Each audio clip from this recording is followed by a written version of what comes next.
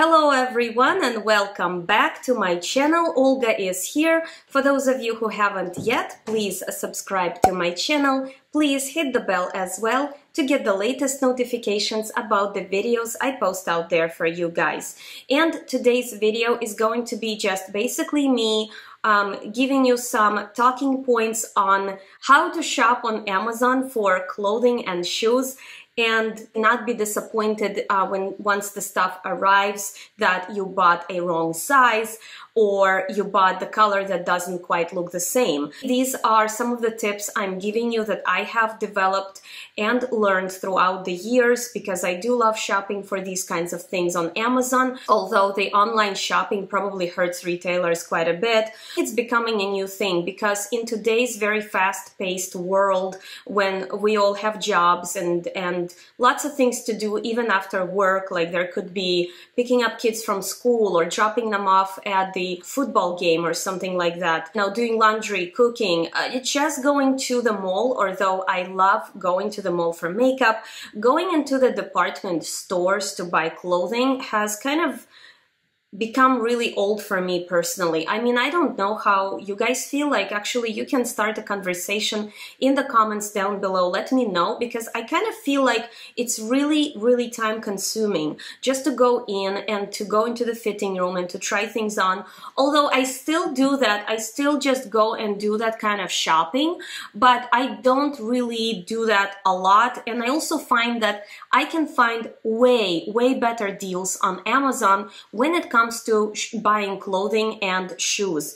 Um, I'm going to give you a couple of things that is kind of like good general tips to do if you are a regular uh, shopper on Amazon. So you probably want to invest in the annual membership uh, with Prime. Yes, it has gone recently up in price. It has gone up from $99 per year to $119 per year, but you actually are getting not just the free free second day shipping, you are also getting entertainment uh, stuff that you can watch having that. Also, the last time they had increased it was back in 2014. Back then, a Prime had cost $79. The way I see it, if you buy two items that amount to like a hundred bucks a year, there you have already basically paid for it um, because you um, are going to save on shipping costs. You are not going to uh, be spending on that extra shipping cost. When I'm buying something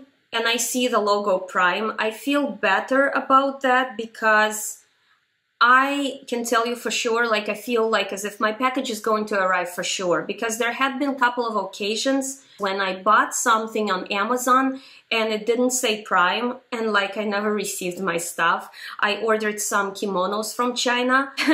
it was like a questionable type of situation anyway because either the stuff never shipped from there or got lost or maybe stuff got snatched from under my door. I have no idea. We'll never find out. It doesn't matter. It happened way, way, way back like previous summer, so it doesn't even matter. But um, I just feel like there is a bit more security when it comes to dealing with Amazon and Prime. Whenever you have Prime, it's like you're you're golden. You know, you know you'll receive your stuff guaranteed in two days unless there is some kind of disaster happening. How I buy shoes. I'm going to talk about sizing a little bit here. So I do buy, besides Doc Martens, I do buy other brands of shoes. For instance, this one is New Balance Aravon, and these are the sandals that I got on Amazon. Just kind of give you an idea. These sandals used to retail for $120 from shoe mill and I did buy them there and then I went home and I saw that they were on some sort of special on Amazon. They cost there $60 and I'm like how could I be so stupid you know? So I did return uh, the those ones to shoe mill and I went ahead and bought uh, these on Amazon and then I got them in black color as well. So I did spend $120 but I got two pairs instead of just one. And well, I didn't tell them that, hey, I'm buying it on Amazon for cheaper. I just returned the other thing and I said, I just changed my mind. But I'm sorry. I mean, like, I'm a consumer and I am looking out for my wallet. So unfortunately for the like, uh, regular type of retailers or places that are in the mall, if I'm going to find a better deal on Amazon, Amazon, evidently that's where the buck is gonna go. I am not um, going to overspend because I feel guilty because I want to have the all stay in business. I mean, I do want the regular retailers to stay in business, but not at the expense of my wallet because I need to look out for my own budget. Shopping on a budget, like if you know you have a certain budget and this is what you have to work work with. Uh, you know, it's no good if you bought something off of Amazon and you're disappointed with it. So the tips I'm going to give you are supposed to help you and be satisfied with your purchase, um, basically eliminate the amounts of returns or disappointments um, that you might experience if you were to buy the wrong item. Uh, so when I buy shoes, it's very important to know the sizing. A lot of times I will go into the actual store that sells them. I will try them on because different manufacturers have different sizing. I I could be a six and a half with uh, one particular company and I could be a size 6 or I could be all the way a size 7 or as with uh, New Balance Aravon I used to be like 6 wide. And it's very important to know these little um, things, especially if you're getting shoes ordered online, you need to know what these little things stand for. For example, N could stand for narrow and W is wide. And then there is also European sizing and there is UK sizing and there is American sizing and there is Chinese sizing and in terms of clothing and shoes. So it's very important to understand where is this item coming from? Where are you ordering it from? Um, what kind of sizing this is? Did you actually try this particular item on at the store or are you thinking that this is what the size is going to be? So these things are very, very important to understand. Uh, I have never gotten shoes and been like disappointed because when I order, uh, for instance, when I ordered a couple of pairs of Doc Martens off of Amazon, I know for the fact that I am UK 4, US 6 in docs. And that's going to be universal across the board. So I'm not even I'm not even worried about that. Now, if I was ordering some kind of brand off the wall that I have never tried and I don't know how it's going to fit me, uh, yes, then I am kind of playing by, oh, does it kind of fit me or not? Is it going to be the right fit? Is it going to be the right sizing? This is what I do in those situations. I turn to reading reviews. Reading reviews is very important. I mean, you might not like necessarily some reviews because some reviews can be helpful, like very helpful. Other reviews could be just like, if somebody says, I hate this item, this is not a review in my book. If somebody says, this sucks, that's not a review because that particular review did not give me any constructive criticism of the item and it did not provide me any information to help me um, make a decision. So like whoever is leaving that type of review, I'm like, I, I don't even know. Why did you even bother? But there are reviews that can be extremely helpful when you're buying clothing or when you're buying shoes. For example, if somebody left a review, like, uh, let's just um, talk about clothing for a second. Like this shirt came from Amazon. It's actually a two-piece um, set. It's shirt, it's a shirt and a uh, pair of shorts and kind of goes together like a jumpsuit, but it's two pieces. I'm going to overlay the picture of that. I had no idea how it was going to fit. I think it said the clothing comes from China, and I know a lot of uh, women there are very small, very petite, and I know I'm not that petite anymore. So I know that probably my sizing would be middle or large or perhaps even extra large. I mean, like maybe that could be really scary for somebody to buy something. Oh, I'm going to be an extra large in this item, especially if you are small or a medium normally.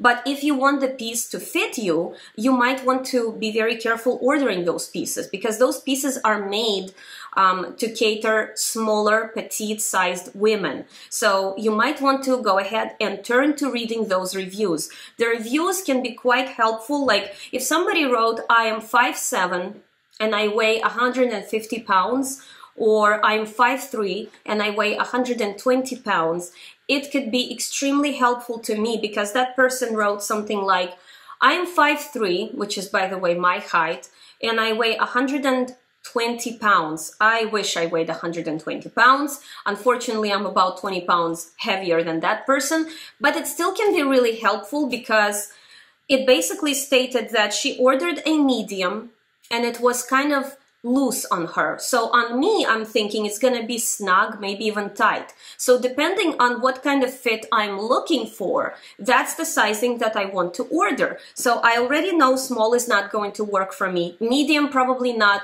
Probably I should go to a large. So I kind of gambled on that one and I did order a medium. Luckily, it did fit me. It is a little bit tight when it comes to shorts, but um, it still works. Like, so those types of reviews, and if I am the one leaving a review, I am also going to put in my measurements because it's going to help a next person to make a right informed decision in terms of buying shoes or piece of clothing, especially if it is shorts, pants, skirt, like especially pants, because the pants um, can be extremely long and you might have to make them shorter, whatever you need to do. So with pants, like you have to be extremely careful.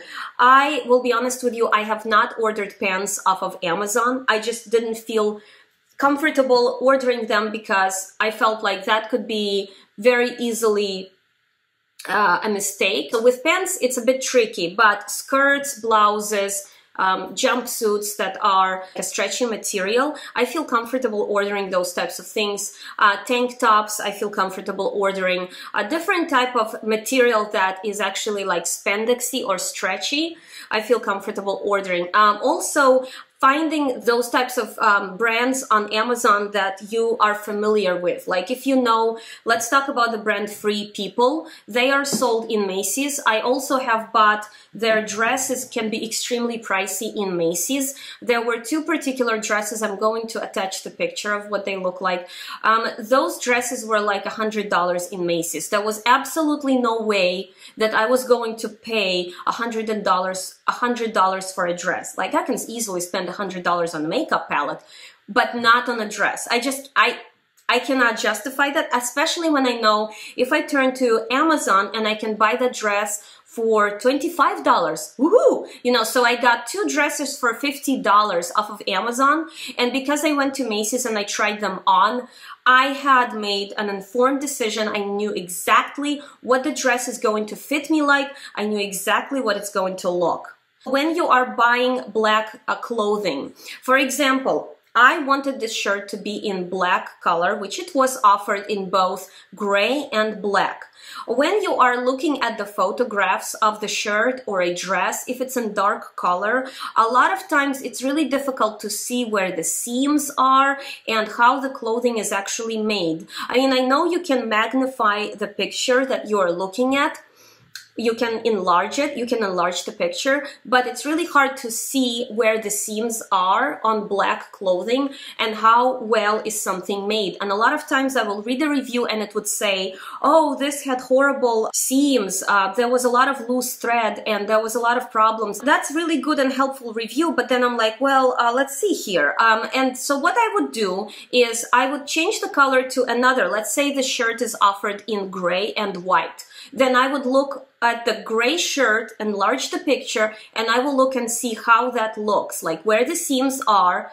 And I mean, it's not perfect. It's still not real life. It's not a reality. It's like you're still looking at a photograph. And remember, those people who want to sell it to us, they made absolute best possible effort to put the best foot forward. You know what I'm saying? Like to put, to put out there the best image that they could have produced with that camera of that piece of clothing. Um, also, so you want to check it in a lighter color. That way you will actually see what kind of you know seams are on this clothing if it is looking the way you think it looks um, what i also want to say is like a lot of times we um, sort of create an image in our minds and we think, oh, it's really gonna look great on me because in our minds, we see things differently than we see them physically with our eyes. But then because when you see something online, especially it could be affected by your mood, if you're happy, if you're cheerful, you might look at something and it looks better to you because what you perceived it to be uh, than in reality. And a lot of times people will say, oh, I received this item, the shipping was fast, but the quality is so darn bad, like it came from a dollar store. Like the quality is so disappointing. It's true though, like a lot of things could come that way and they were that way, of course, but a lot of times when we look at something, depending on how we are that day, we might receive the information and then turn it completely into something else. Also something that Amazon does when they advertise blouses or clothing, they will put a piece of necklace on top of that clothing. Like especially I've seen that with tunics. If they are selling a lady's blouse or a tunic, they will put a necklace like I saw it on so many, I saw the same necklace on lots of different shirts. They would have a necklace of a wooden fish. I will try to find a picture of something like that and I will put it um, as an overlay so you can see. So what you're really seeing is you're seeing the image of that blouse as a whole, like as a wholesome thing. You see it together with that fish and in your mind, it's all together. But remember, the blouse is not going to come together with that necklace. They put the necklace on to dress up the shirt, to make it more presentable, to make it more sellable to you as a consumer. It's kind of the same as when you go and do your window shopping. You know, you go to Macy's or you go to JC Penney's or you're walking in the mall or somewhere where you see the clothing in the windows and it's all put together. You will see beautiful outfits on these mannequins and there would be lots of times there would be layers. There could be a very simple tank top with very simple pieces like very simple black slacks but then there will be like a little blazer and then there would be some beautiful uh, beautiful colorful necklace that is overlaid on top of this tank top. And you look and say oh, I love this tank top well, is it the tank top that you love or is it the whole look that you love? And maybe you really need to be buying all of those pieces or something very similar to achieve that. That's very important. And a lot of times when you're looking at something on Amazon, that even though they will say it in the description, like the fish necklace is not included, or this necklace, or minus the belt, or minus the necklace, or minus the bracelet, or, you know, like for example, this is the bag um, that came from Amazon, right? Okay, so um, I know lots of you are gonna be like, really, this is, um, this is not a real deal, so don't, don't worry, you can you can lower your temperature and your heart rates. This is not Birkin, this is something that looks like it. Um, I'm going to actually link their information. So, of course, the bag does not come with this little twirly. I bought this separately and I put it together. But if I took the picture of that, right, and send it to you, you'll be like, oh, this looks really attractive because you see it as a whole thing. So I dressed up this bag if I take this off, it still will look pretty if you like uh, just a simple blue bag, but it's not going to have that pop of color that you see with this, you know? So it's just, a lot of times retailers will do that, and it's a known trick. It's nothing new. I'm not reinventing the wheel here. I'm just kind of making you aware of these little subtle things. And this is what works. And they know that this works and so that's why they do that. So always know your sizes. Do read those reviews. I'm just trying to recap right now guys. Do read those reviews. They can be helpful. If you see a bad review just ignore it. Try not to form an opinion of something you like just based on one review. So try to read more than one review to form an opinion. Try to look for reviews that have numbers in them like if you don't want to read the whole thing just kind of scan it and see if it says like the height of a person or the weight of a person and what kind of size they ordered. This might be helpful. I also love it when people attach photographs of themselves wearing the item that they have received. Know your sizes. If you are able to go and try that size elsewhere, that way you know exactly what you're ordering, what you're getting. Also, if you're buying black looking dresses or like black colored dress or a piece of clothing, look at it first in another color. That way you can form an opinion of how the material looks and also what kind of seams uh, are on this piece of clothing if they look good to you on the photograph. So try to follow these tips. I hope that they help you. And remember, just have fun. And who knows, maybe none of this is actually real. You know, maybe we all just uh, living in a matrix and all of this is just a funky program to make us feel like we are buying clothing and shoes from Amazon. You've been living in a dream world, Neo. Okay, so with all of that out of the way, guys, I hope that you enjoy the video and um, I'll try to edit it so it's not too long.